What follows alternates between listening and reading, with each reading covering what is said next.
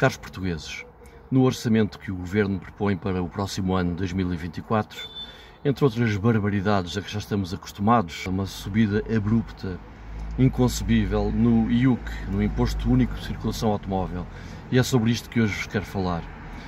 O Governo entendeu penalizar os carros matriculados até 2007 com aumentos simplesmente selvagens, que podem chegar nos próximos anos a mais de 1000%, consoante o tipo de carros e o tipo de combustível.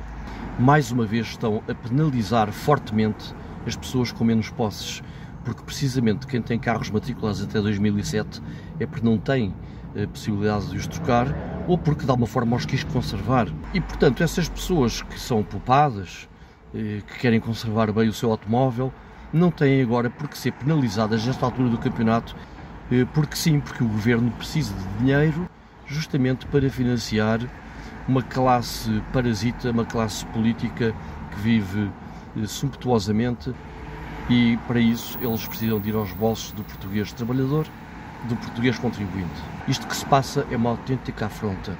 Virem carregar nos impostos justamente sobre as pessoas que têm menos posse e que têm os carros mais antigos.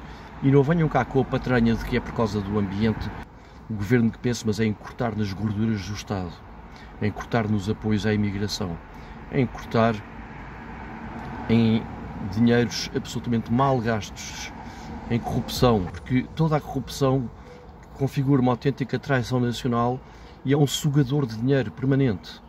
Não tem que ser os portugueses a pagar isso. O aumento do IUC é mais uma vez uma medida cega, injusta e que não visa a justiça social, pelo contrário, visa carregar onde é, é mais fácil carregar, que são sempre os mesmos desgraçados, como se já não bastasse o drama que é a situação hum, da habitação em Portugal, que é mais um crime destes sucessivos governos. Como é que os portugueses ainda conseguem fazer frente aos seus gastos com ordenados baixos, impostos diretos e indiretos caríssimos, habitação absolutamente insuportável, insustentável e agora só faltava também atacar o setor automóvel com esta brincadeira de aumentar disparatadamente o imposto do IUC.